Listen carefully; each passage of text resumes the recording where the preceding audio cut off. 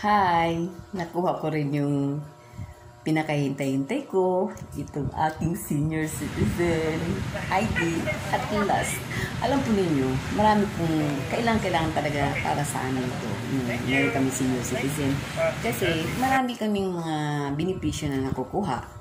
Alam naman po ninyo, yung mga, marami kaming ah, nagkakaroon kami ng mga discount sa mga gamot, sa sasakyan, at kung ano-ano pa. Kaya, kailangan talaga pahalagahan namin. At kailangan din talaga may ID kami. Kaya ito, thank you Lord. At huwag ka. Hindi ako pinayagan na pumunta ng Batangas. Gusto gusto ko pa naman doon para makita ko yung idol. Kasi pwede naman ako mag-stop over ng lipa bago pupunta ka sa lugar namin. Taga-Taal po talaga, taga-Taal Batangas ako. Kaya alam po ninyo yung Taal ang Taal Batangas ay napakagandang lugar naman. Sa katunayan, doon ko nakikita yung aking pinaka-idol na si Fernando po at saka iba-iba pang mga batikang mga artista. Mahilig, nagustuhan nila yung lugar namin, yung Taal Batangas kasi yung lugar na nandoon yung kasi yung ah, pinaka-oldest church, ang Taal Church. Kaya type na type nila yun na mag-shooting. Kaya doon ko nakikita marami ako nakikita kahit hindi ako pupunta dito sa Manila o pupunta ng mga network, network. Nakikita ko sila doon. Pero ngayon, hindi ko alam kung nasa sila nagsishooting. alam po ninyo, minsan may nagsasabi sa akin kung bakit ako kinikilig. Eh kasi po naman, hindi naman, ang puso naman ay hindi tumatanda. At ang isip hindi rin tumatanda. Nagpasalamat nga ako at dito sa YT ay pinayagan kaming mga ganitong edad ang pwede pa rin dito. Kasi alam po ninyo, kailangan ko din po talagang magsalita at saka ah, dapat ko rin na i-exercise ang aking mga utak dahil natatakot ako sa dementia. Oo, nabasa ko yan doon. Pagpunta ko doon sa hospital, eh, naku, lalo sa mga matatanda. Kaya talaga ini-exercise ko kasi alam naman ninyo, si mama nagtitipid. Hindi naman ka hindi naman pwedeng pumunta ka na lang doon na wala kang pera sa mga pagamutan. Kailangan talaga. Kaya mas mabuti pang alagaan talaga ang, ang inyong katawan. Kayanin talaga alagaan. Huwag pabayaan kahit mga bata, kailangan pa, huwag ninyong pabayaan. Ito nga mga idol ko eh, nagkaisip ka agad. Ah, talagang maganda yung kanilang mga iniisip. Na pumunta sila sa ah, napakagandang lugar, payapang lugar, ang San Benito pa. Tama talaga yan. Pero bago tayo mapunta dyan, ay tatawagin ko muna yung aking mahal na Ku! Hello, Ku! Parati kong kasa- isasama talaga sa pag-vlog ko itong aking mahal na asong si Ku! At kailangan din naman si Chika para kasama natin sa ating magbalita sa atin para sa kanyang beautiful, beautiful boss na si Ma'am Casey. Ma'am Casey Concepcion. Ito, chika.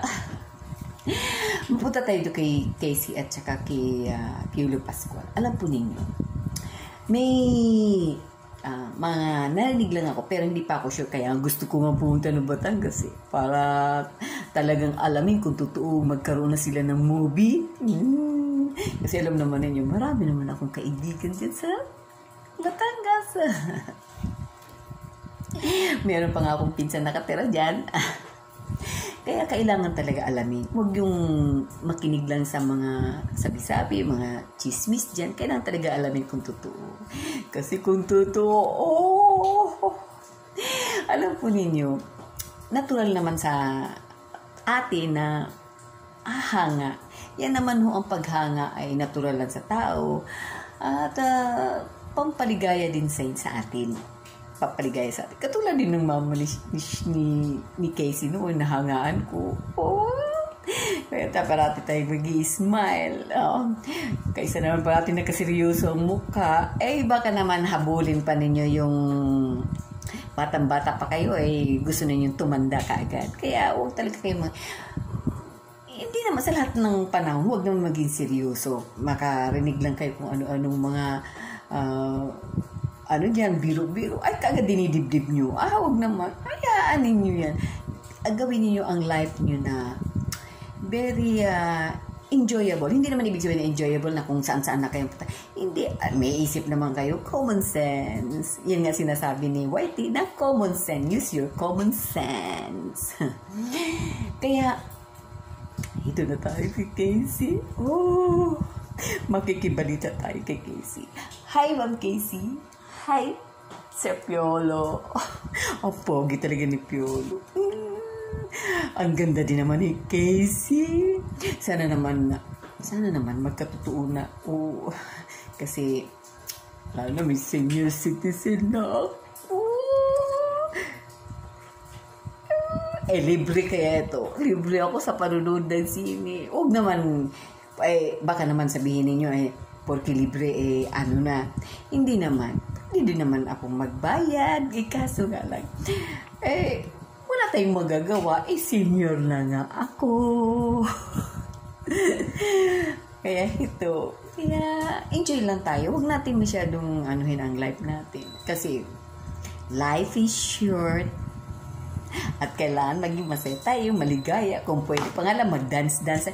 Ay, naalala ko na yun ng nanay ko noon. Hmm. Tuwing makarinig sila ng tugtog, ay, nagsasayawan kagad sila ng uh, tango-tango ng tatay ko. eh, gusto niya, pinapakita lang sa amin. Eh, kaya, tinan mo, nahawahan na tuloy ako. nahawahan mga anak. eh, wala tinakangiti kahit mm, masakit ang dibdib. kaya, dapat talaga, para iwas natin, alahanin nyo, ang mag magpapagamot ay napakamahal. Eh, kahit naman may pera kayo, eh, maawa naman kayo. Pinaghirapan din naman nyo yung pera tapos sa isang iglap, eh, mapapunta lang doon sa paggamutan. Kaya, dapat talaga, um, smile. At sana dito tayo kay Casey. At saka kay Piolo. Sana matutuloy na kanilang movie. At gusto ko pa maging movie yung mga action thriller. Pero ayoko ng horror. Ayoko ng horror talaga. Sumasakit ang dibdib ko. Hmm, ayoko ng horror. Pero okay din naman kasi, di ba, like-click ang mga horror. Pero ayoko ng horror talaga. Gusto ko lang yung mga action katulad ng Taken. Oh, nandoon si Pumpkin Johnson. Eh, bagay na bagay kay, kay Casey yun at saka kay Piolo. Alam niyo man, nakikita ko sa mga movie, kasi nag-review ako ng mga movie ni Casey. Ay talaga, yung uh, yung normal na Casey na nakikita natin na malambing, na akala mo na ano, akala mo nag, nag-model. Pero pag nasa pelikula siya, ay kakaiba. At talagang uh, inaano niya yung karakter na talagang totoong karakter. Hindi niya, hindi siya yung maarte. Kaya parang totoo. Parang pang award winning ang action niya. At lalo na sa beauty niya, nakikita, oh wow. At kay Piolo din, alam naman si Piolo, batikan din naman. Eh, kailangan talaga, ay mga gwapo, mga pretty pa, oh. The perfect match. Tsaka sana, panalangin ko na sana magkaroon na ng movie. Kasi, manonood talaga ako. Sayang nga lang, sana mapuntahan ko doon. At makita ko din naman yung San Benito Farm na yan. Hindi naman yan sila masyadong istrikto. Eh, ganun ba naman? Alangan naman, hindi naman siguro ako kaya ipagtabuyan ni Ma'am Casey kahit lang magpa-autograph, magpa-pulo. magpa magpa makita ko lang siya sa personal. Eh, yung mama nga niya, eh, naging boss ko pa nga. Siya pa kaya. Napakabait. Eh, napakabait. Na, sa totoo lang, napakabait ni Sharon noon. Ni Sharon Cuneta nung una talaga. Nung panahon ko. Kasi ako, number one talaga idol. Ayaw ko lang ngayon. Bakit nagkagaya? Dito na ako sa baby niya. Hanggang dito na lang tayo. Always smile and be.